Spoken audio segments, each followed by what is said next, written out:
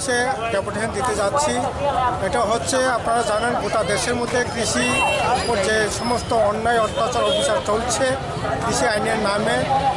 আর এছাড়া সাধারণ শ্রমজীবী অংশের মানুষের উপর যে আক্রমণটা সেখানে করা হচ্ছে, এতে করে শ্রমজীবী অংশের মানুষ তার যে ন্যূনতম অধিকার এতদিন ধরে ভোগ করতেন, এই অধিকারটা পর্যন্ত এখন সেখানে সেখানে অধিকারটা পর্যন্ত খর্ব করা হচ্ছে। কাজে এটা কোনোভাবেই মেনে নেওয়া যায় না।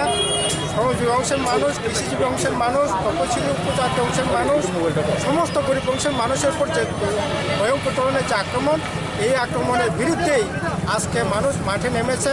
তারই অঙ্গ হিসেবে আমরা আজকে এই মিছিল সংগঠিত করছি।